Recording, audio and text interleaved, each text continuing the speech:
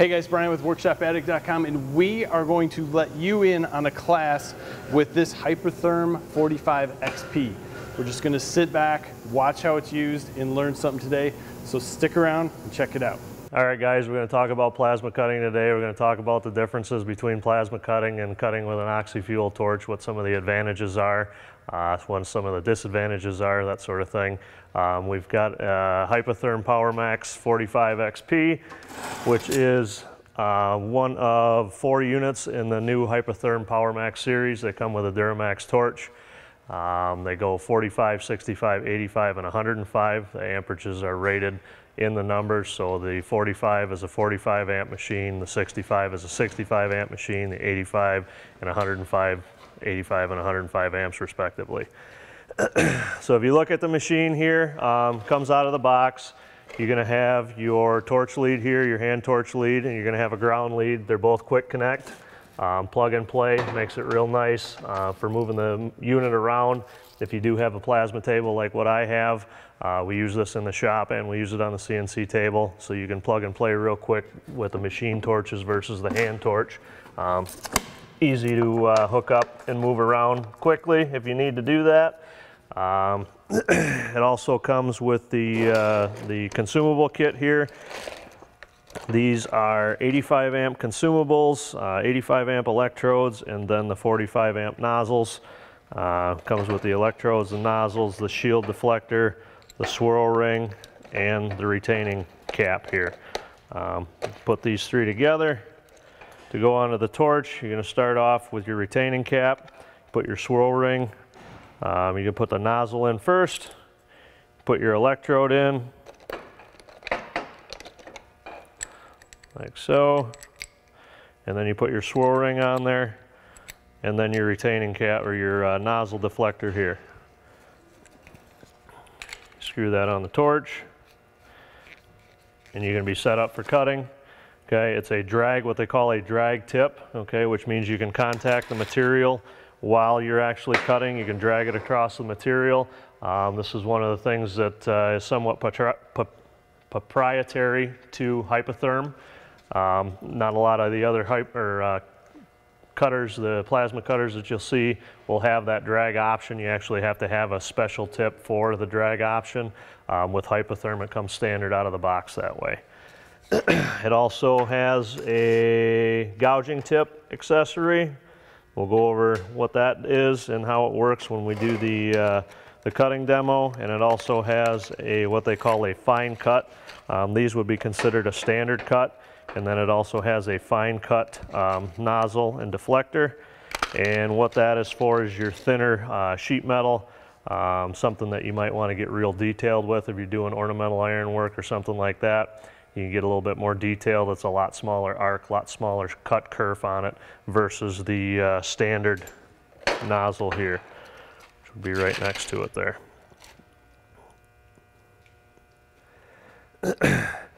Um, as far as hypertherm goes, um, I've had Hypertherms for quite a while now. Um, I really like the machine. They seem really versatile. Seems like a really solid machine. We put quite a few hours on them on the uh, on the plasma table and also on in the shop there. Um, I would say, you know, it's it's probably one of the better ones out on the market, if not the best one out on the market, in my opinion. Um, in order to operate it, you need to have electricity. Um, this is an inverter style machine, which means there's no transformers inside. There's just a, there's a small transformer, and most of it, uh, most of the electricity is created by a circuit board inside, um, and electronics in the inside of the machine.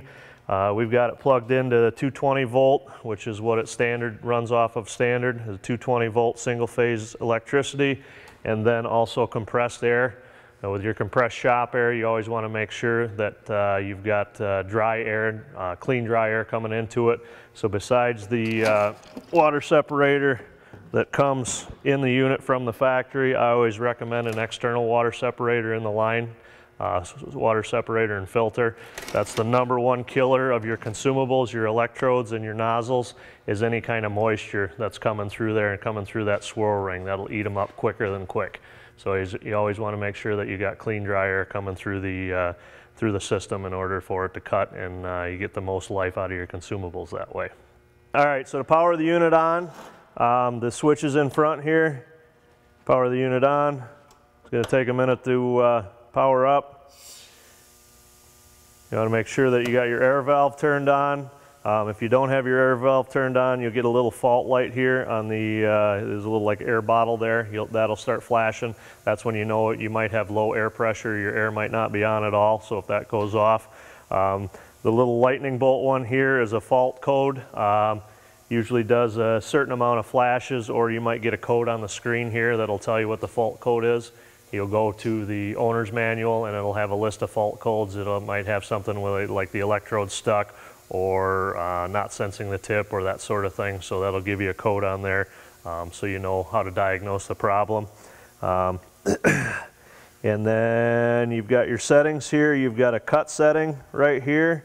Um, and then this little button here flips it over to the gouge setting, all right?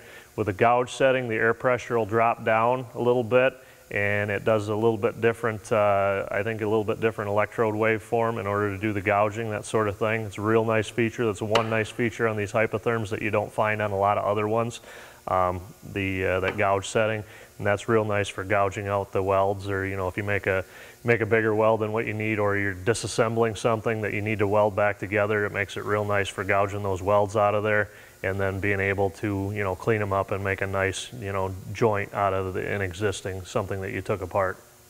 Um, your amperage control here goes from 10 amps all the way up to 45 amps. Um, it says that this machine is rated for 7 inch thick plate. Um, you might be able to sever 7 8 inch thick plate, but it's not going to be a real nice cut. Um, I would say at 45 amps, it'll probably cut the quarter inch all day long. It'll probably do pretty good at 3 eighths of an inch. And then half inch, I would say, is probably going to be its max. Um, but a, they do claim that it'll cut up to 7 eighths of an inch. So that, you know, I'd like to, uh, I'd like to actually get some thicker stuff and see, you know, if it'll actually do it or not. Um, most of the time though, when you're running this thing, unless you're running on thinner sheet metal, um, anything like 3 16ths and above, I usually run it at anywhere from 40 to 45 amps. You get underneath that, you start cutting real thin stuff like 16 gauge, 18 gauge, 20 gauge. That's when you're going to drop it down to that, you know, 20 to 25 amp range, and you use your fine cut tips for things like that. So. Uh, that being said, uh, we'll go ahead and we'll show you what it does for cutting, and then we'll show you that gouging setting, why, why that's beneficial and we'll go from there. Okay, so we got our ground hooked up. We got some quarter inch material here. Um, you got a safety switch on the uh, torch here that you got to flip that up with your uh, finger there to pull the trigger. pull the trigger, arc activates, and you'll be able to cut. Um, so first I'm going to freehand across this, and then we'll do the drag. So can show you the difference in that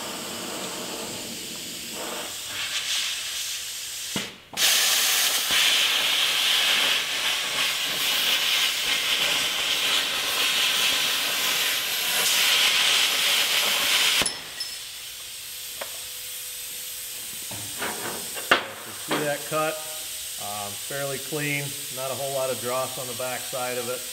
And the, you know, the more practice you have, the better you're going to get with this. Um, you should have very, very minimal dross on the back side of it. You see it's a lot less than what you get with an oxy fuel torch, that sort of thing. Um, and then with the drag feature, you put the tip right on there and drag it straight across. You can use different size material. That's a straight edge to help you cut, make a nice straight cut on it.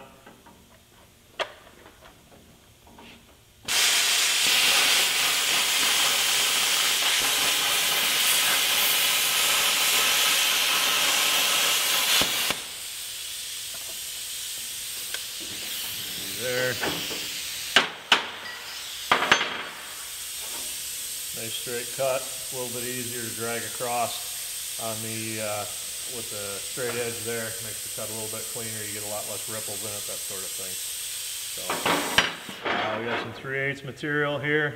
Go ahead and cut that. You have to use a little bit slower travel speed. The thicker material, the thicker the material, the slower you're going to go with your travel speed.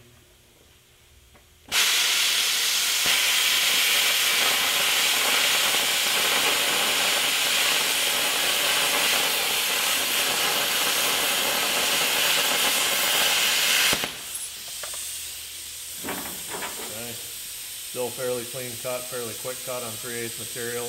Um, nice thing about plasma cutting uh, versus the oxy-fuel cutting, you don't have to wait for that material to warm up to that molten state. As soon as you pull the trigger, it's ready to go and you can start cutting with it. So it's a little bit quicker on your cutting.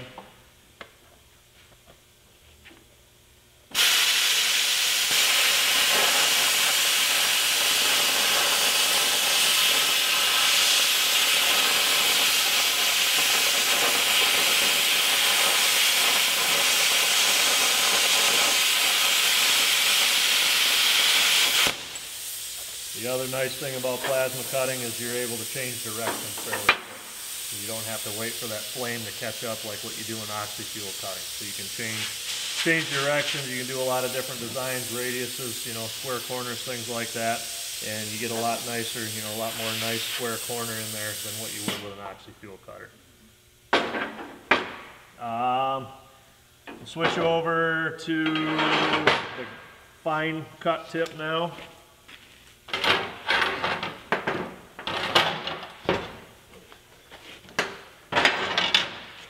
The fine cut consumables, you're gonna pull the shield off there, retaining ring. Take your nozzle out. You're gonna leave the same electrode in there. Um, you're gonna replace it with a fine cut tip there, a lot smaller hole than what the other nozzle is. Put your retaining ring back on it. And then a little bit different style shield deflector than what that one is there. This one's made for dragging. This is actually, you can only freehand with this. You're not supposed to drag with this tip here because it's going to contact. You're going to arc out the, uh, the nozzle and end up messing it up.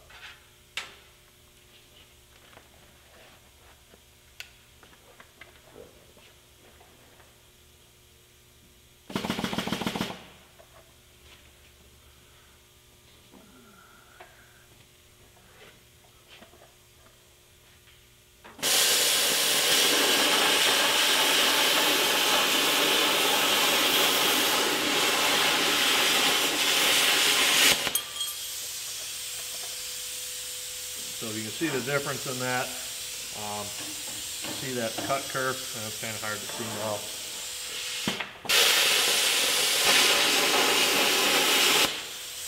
Is a lot smaller than what you get with this nozzle here. Um, I would say that's probably 16th of an inch cut kerf to where you might be up to, you know, over that with that, eighth of an inch maybe, depending on the thickness of material, that sort of thing. You got your fine cut tip, um, like I said, for doing the thinner sheet metals, things like that. Uh, your 18 gauges, 16 gauges, that sort of thing is where you'd use this or like ornamental iron work. And then uh, I switch over to the gouging. Same thing, take the retaining ring off. The retaining ring, the deflector shield. And then you're gonna go with the gouging setup, a little bit different style than what the fine cut and the regular cut nozzle. This will make the arc fan out a little bit more.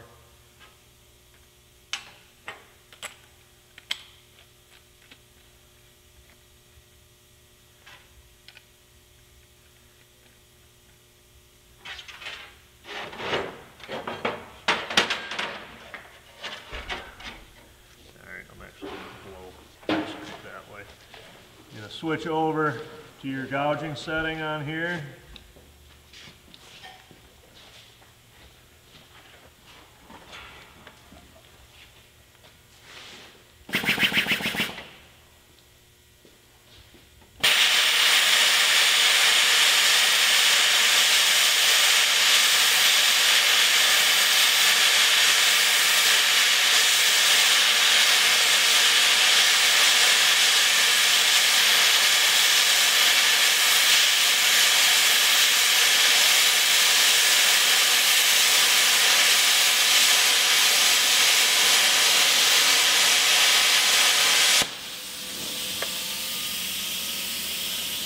Take that weld out of there in layers with that gouging setting.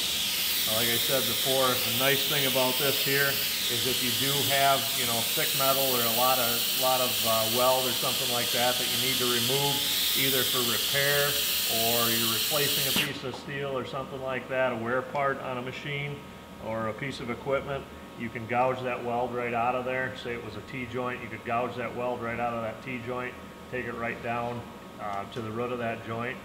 Pops right loose, very minimal grinding afterwards versus doing it with, you know, an oxy-fuel torch or even with a grinder.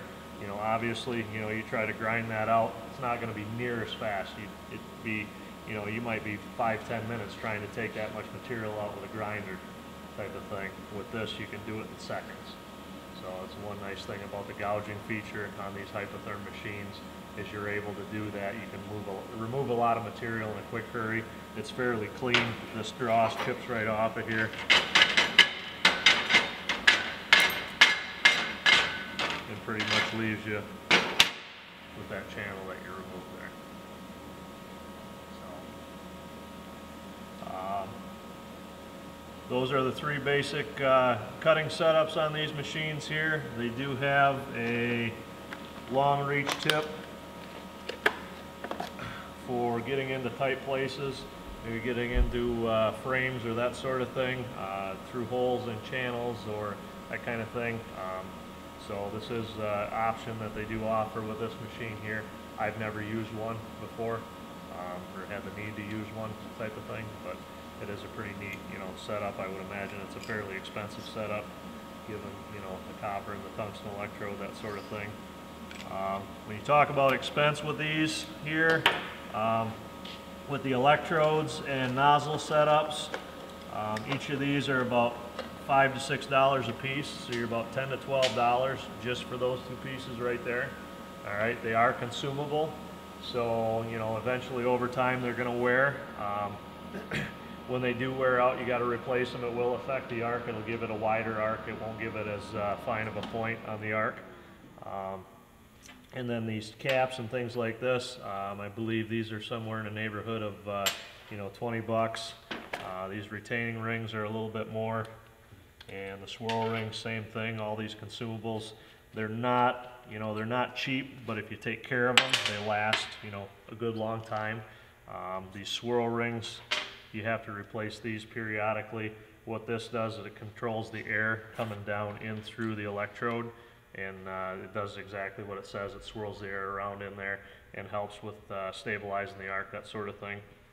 And what you'll find on these here, what I found is if you overheat them, if you're doing a lot of heavy duty cutting or you're in a you know tighter spot where a lot of that heat is reflected back on it, this uh, it'll carry back into the electrode and then these will warp. Um, when this fires, it actually comes back in there and hits that little spring. So this has got to move free in there. So once these swirl rings warp, they're basically junk. You got to put a new one in because it won't let that electrode function the way it's supposed to. So, uh, other than that, you got any questions? So that's it. Plain in a nutshell, this is an awesome unit. We'll put some links in the description below. Leave some comments below and let us know what you think. As always, give us a like on this video, subscribe to the channel. Have a great day.